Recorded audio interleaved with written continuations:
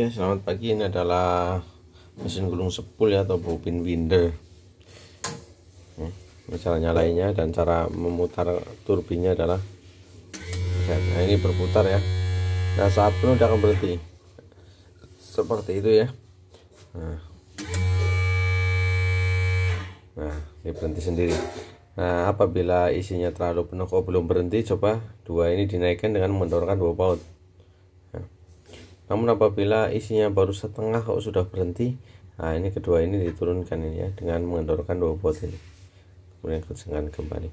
Ini transaksi via Tokopedia pesanan dari Seri Fauzia di Jakarta ya Jakarta Selatan. Kalipata kemarin saya dari sana wah ya. oke ini tes oke nya ya.